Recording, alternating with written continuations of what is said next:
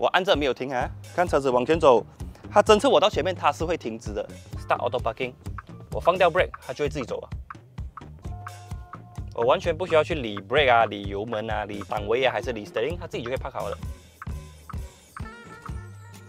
其实呢，我个人对于中国的汽车品牌是没有任何意见的，只是我并不喜欢他们的新势力，因为对我来讲啊，新势力啊，每次就是把一堆配备啊、一堆零件拼起来，他们就告诉你还是造车的，而且很多新势力他们造的车是没有灵魂的，所以导致我不是很喜欢他们的这个作风啦。然后呢，一直到之前呢，我听到这个 Bermas Auto 呢要在马来西亚接手这一个小鹏的应云权的时候，其实我也是不明白为什么 Bermas 要做小鹏。一直到最近呢，他们打电话叫我去拿这辆车出来试驾。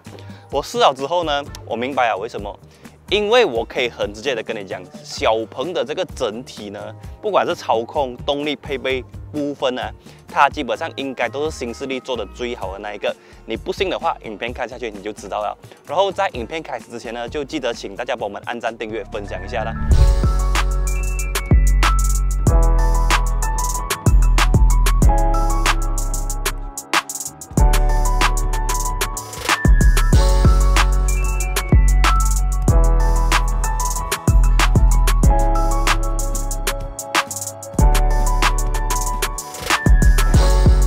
今年四五月的时候，其实我就有拍过一期小鹏 G6 的这个影片啊。可是那个时候，其实我自己不是很喜欢它的外观设计啊，因为那辆车是橙色。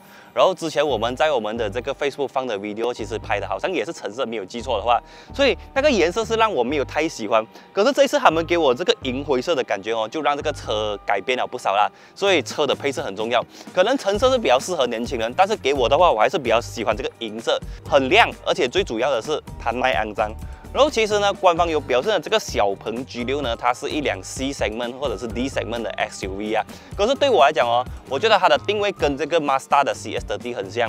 其实你看它这辆车看起来感觉很高，其实它是低的。你看我站在它旁边，我身高是一百八十一，我站它旁边，其实这辆车真的是矮很多。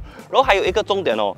这辆车的离地高度只有一百六十 mm，如果一般上 SUV 啊，他们可能是一百八十 mm、一百九十 mm，我自己的 HRV 都一百九十 mm，可是这辆车它跟你讲它是 SUV，可是离地高度只有一百六十 mm，你讲有没有好处？好处当然是有的，就是它的这个操控表现真的很好开，这个等下会跟大家讲到。然后缺点的部分就是一百六十 mm 可能它的通过性不像其他的 SUV 那么好啊，所以自己大家要拿捏一下啦哈。小鹏 G6 的这个整个车尾是一个很圆润的设计，我自己个人不是很喜欢这样子的设计风。风格啊，可是这样子的设计风格有一个好处，就是你打开它的尾箱，你就会看到啊，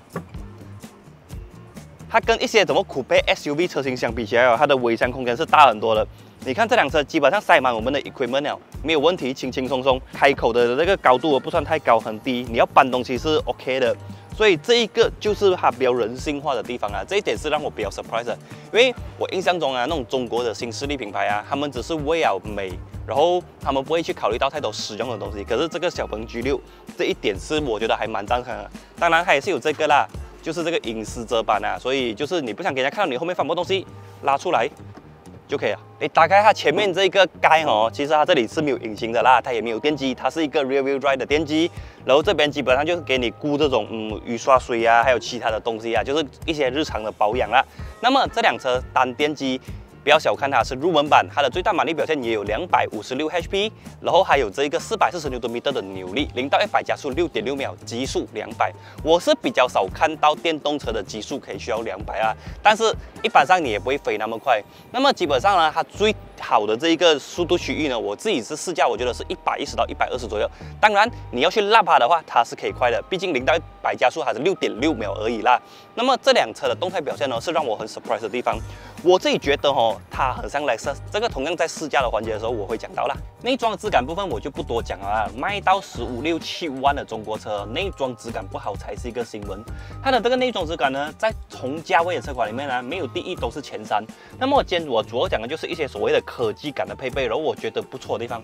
首先很好玩的就是它这个三六零的镜头，它这个三六零的镜头成像很清晰。然后除此之外呢，这个触屏主机呢是这个采用八一五五处理器的这个主机啦。也就是讲，它会很流畅。你看它基本上我这样滑来滑去，拉来拉去，它没有什么卡顿的。然后它的整个反应速度是快的。当然呢，它也是支援这个无线的 Android Auto 跟 Apple CarPlay 啊，就是你不喜欢用它里面的 Map，你就可以去连接你的手机去用它的 Map。然后除此之外呢，这个触屏主机很多的功能你都要通过它来进行一个调整。就例如讲，今天我要调 Side Mirror，我要通过这个触屏主机；然后我要调风量的话，也要通过这个触屏主机。不过我平常都是在吐槽，就讲这种触屏主机啊，呃，要调冷气风量很麻烦，对不对？可是这一次哦，这个小鹏 G6 跟一些其他的中国电动车啦，他们有一个首选解决掉我的痛点，就是左边的这个 button 是不是？你可以去 customize，你要它控制什么功能？就例如讲，现在我把它设成控制冷气的话，那么我这样的滑的话，它就可以控制这个冷气的温度，然后左右的话就是控制冷气的风量。所以因为有这个功能的加入。让我觉得这个触屏主机我没有那么讨厌，我觉得是可以接受的，因为我最主要就是要控制这个冷气。每次我开车我看 w a 的话，我还要去按这个 CarPlay 关掉 CarPlay，然后才去调这个冷气的话，我觉得很烦。但是它今天可以让我把这个控制面板放在这边的话。完全就没有问题啊，所以这一点我要给好评，这个是一个不错的 solution 啊。然后这辆车还有几个很特色的功能，就是它的这一个 remove control 功能跟这个无人 auto parking 功能。OK，现在我就为大家演示一下啦。要介绍的第一个特色功能就是给你可以遥控这辆车向前走跟向后走。如果讲你今天去到 shopping mall，你好不容易找到一个 parking，像这样子，它是靠旁边的，你 park 进去之后，你的车门很难开，然后左边也伴着一辆大车，你那边的车也很难开，那么怎么办？那么这个时候你就可以用这个遥控功能了啦。我觉得这个遥控功能是不错一下的。首先就是人下车了之后，你只要打开这个手机应用程序之后，你就可以控制这个车子往后退啊。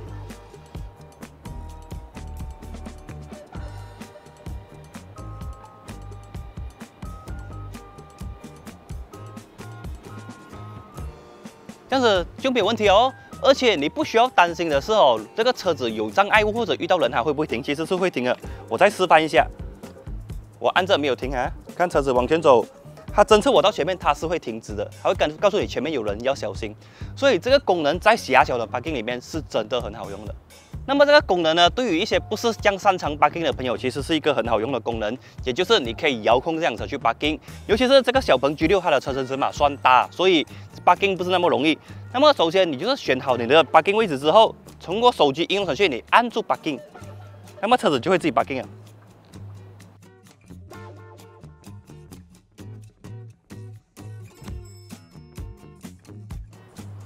来来来，重点是啊，这一个 auto parking，它这个线拔到是超级直的，不用担心它会撞旁边或者撞左边，这个我也是要给赞。你用这个 remove parking 哦，其实是蛮好用一下，但是可能就是有一点慢，而且你在外面你这样子 control 的话，人家看着你，你可能会排血，不好意思啦。不过不用紧，这辆车你坐在车里面，它也是有 auto parking 的，一样你打 reverse gear，你就可以去选择你要放在哪一个位置。例如讲，今天我要放这个位，OK，我选择了之后，start auto parking。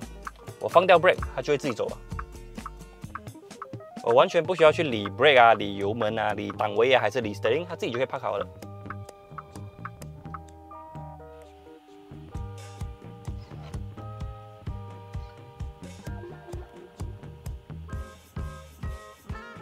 一样也是 park 到美美。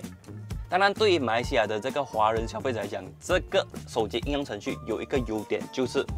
它是支援中文的，当然你要英文也是可以啦。这样子哦，它其实就比一些 app，例如讲这个 Proton 的这个 Proton Link 啊等等更 friendly 啦。就是如果你真的是看不懂这一个英文的话，还有中文可以给你看。那么我讲完那科技感啊，还有它的一些特色功能之外啊，实用性的部分我还是要讲的。这个小鹏 G6 呢，它的轴距达到了两千八百九十 mm，超级大。前面已经是我的标准桌子了，然后你看这个后面的空间表现，是不是大到很夸张？这个前面的这个呃脚部空间我不用去算了啦哈，超级大了哈。然后 surprisingly 它的这个椅垫的支撑也 OK，皮革很软，这个发泡棉也很软，然后这个椅背的角度也够好，然后头部的空间虽然讲它以外面有一点点像这种酷配 SUV 的设计风格啦，可是头部的空间是很大，你看你超过一个拳头。然后比较可惜的是它上面有这个全景天窗啊，然后这个全景天窗是会弄到车子有一点点热啦哈。不过空间的部分呢，它是没有办法去挑剔的。那么这个是后座座椅呢，你觉得这样子还不够舒服？没有关系，它这个角度还可以再调整点，所以真的可以坐在后面睡觉。长途的话真的是很舒服，不过长途的话，我会个人会建议你直接去 Long Range 啊，因为 Long Range WLTP 续航大概是五百七十 km 左右，这个是四百三十 km，呃，对于一般的 daily use 来讲问题不大。长途的话，你可能就要先 pre plan 好你的这个哪里充电啊，等等等等的细节啦。还有一点我要跟大家分享的就是哦，这个小鹏 G6 它的四个门都是配备了这种电子门把啦。当然，你可能会讲，如果今天这个电子门把坏掉的话，或者是车祸时候车辆断电，我是不是就开不到门了？其实不是，因为呢，它每一个门哦，它都还是配备好这个实体门把。前面两个呢，它有一个门把是放置在这个置物格里面的，一拉就开。然后在后座的话哦，它则是隐藏式的。来这边大家看得到吗？这边是隐藏式的，你只需要打开这个盖子，里面有个绳子，一拉门就开了。那么呢，这个小鹏 G6 呢，还有一个我个人很喜欢的功能呢，就是因为我时常在开车，然后有人会打电话给我。如果是平常我开其他车子的话，我用这个免提讲话，我要讲很大声，而且有时候会听不清楚，因为这个喇叭在这边麦克风在这边，所以讲话哦，人家也听不清楚，人家讲话你也听不清楚。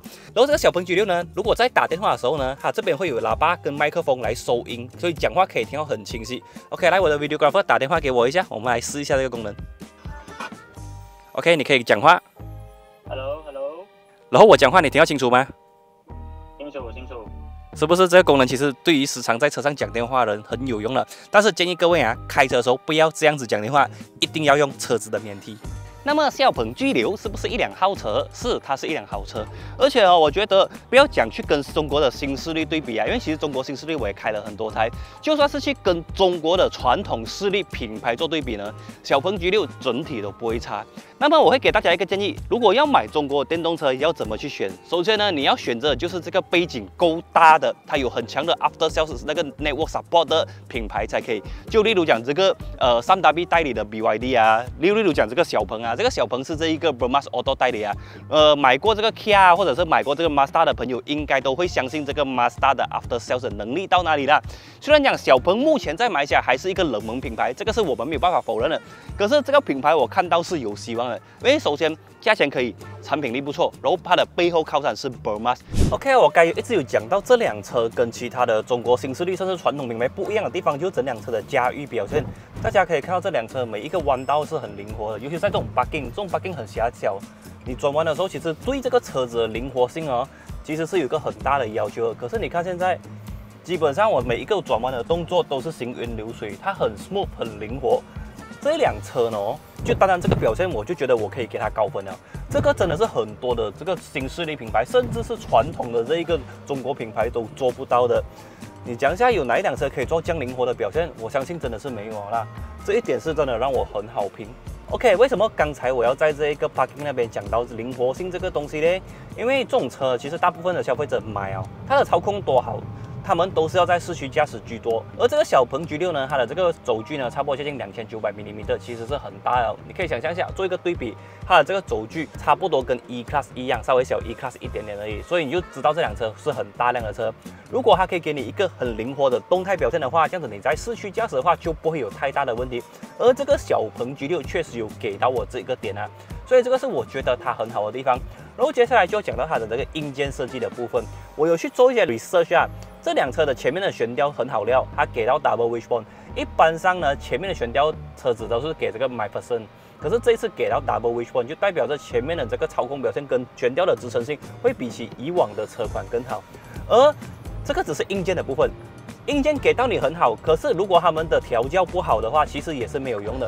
可是这一次 surprisingly 的就是这个小鹏的 G6，他们调教也很到位。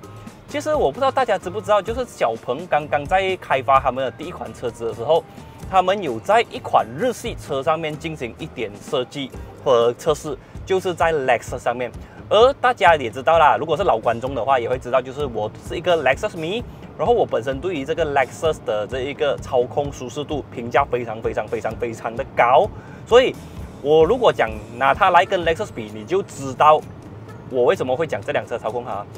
如果是跟新一代的 Lexus NX 相比的话，我觉得这辆车的操控表现呢，有差不多接近 Lexus NX 的七十五到八十八左右。所以你知道为什么我会这样喜欢这辆车吗？因为真的很好驾。当然啦，它除了这个操控表现很到位之外呢，它的这个悬吊也是舒适性的。当然，因为它是 EV 的关系，然后又配备了一个六十六 kWh 的电池，所以很难免的你会感觉到这辆车的车身是有一点重的。可是不大会影响到它的操控表现，尤其在进弯的时候，车辆的这个 body roll 不会到太明显，悬吊支撑得到。然后重点是这个 steering 很跟手，这一个真的让我很喜欢开。那么这辆车除了悬吊之外，它有什么特别的地方？就是它的这个动力的表现啊，它的动力表现其实我觉得也是够用的，就是两百五十六 HP，四百四十牛顿米的，基本上已经比很多二点零公升的涡轮增压引擎更快了。而且重点是它还是电动机，有这个即时扭力。你看，我今天一出入口一踩升油门，它的车子就出去了，然后速速度很快就上到一百二十，所以超车的部分是没有问题的啦。然后加上这个很跟手的 steering，这个车子嘞，我是真的很喜欢。那么整体而言，还有让我什么惊艳的地方吗？这个小鹏 G6 还是有的，就是它的隔音表现。那么这个玻璃的部分，它用的是双层隔音玻璃，所以风声一直都很好。然后加上它是电动车的关系，也没有引擎的噪音。然后它的轮胎用的是 Michelin 的 Pilot Sport EV，抓地很好，隔音表现我觉得也是在可以接受的范围。你们现在就是听我在开车，大概是开一百一十这样子的速度，然后去听它轮胎滚动噪音，你们可以接受吗？那么这辆车呢，基本上它的 b a c k 是很好的，然后重点是它的价位，我觉得是蛮可以接受的啦。我没有记错，它的价位大概是在十六万五千零几左右，这个入门的版本啊，它已经比 Tesla 的 Model Y 便宜很多。然后在配备上面不输，空间表现上面不输，动力的部分应该也不会输。它可以讲是一个很完美的 Model Y 平替，这个是我自己的感觉啦。那么如果是讲满分十分的话，这台车的 overall 表现，包括它的配备，包括它的舒适性，包括它的坐姿，包括它的动力，包括它的操控表现，我会给八点五分。因为今天这个小鹏跟这个 BYD 一样，他们的背后靠山都是马来西亚知名的这个 distributor，像是这个 3W 还有 b e r m a s 所以我给他，我对他还是有那个心情在的。那么你对这个小鹏 G6 有什么看法呢？可以在影片的下面留言给我知道啦。好了，以上就是我这个试驾环节的内容啦。虽然讲 b r m a s 可能有一些情况下他们会比较保守一点，但是保守就代表着是安全的。那么这个小鹏 G6 呢，会让我很 surprise 的点就是在于 b r m a s 真的有用心去做。如果你有去过这个呃小鹏的 showroom 啊，他们在外面已经建好这种充电桩等等等等等等，一切的 facility 是 ready 的了的。因此嘞。这辆车我觉得未来可期的，只是还是要给一点时间。那么今天你会问我会不会推荐买这辆车？相比起很多的中国品牌，那么这辆车我会真的建议你去试驾，因为开起来真的很好开，而且那些所谓的高科技功能也不是花里胡哨，在某一些场景下真的可以使用的。那么最重要的就是它的背景是奔马啊，这个是我要讲的，就跟三打 B 一样，讲到奔马，讲到三打 B，你应该就会比较有信心，compare with 其他的中国品牌啦。OK，以上就是我这一期影片要分享的东西啦。如果大家觉得这个小鹏 G6 不错的话，也可以在影片的下面留言跟我们讨论啊。最重要是帮我们按赞、订阅、分享一下。那么我们就下一期的影片再见啦，拜拜。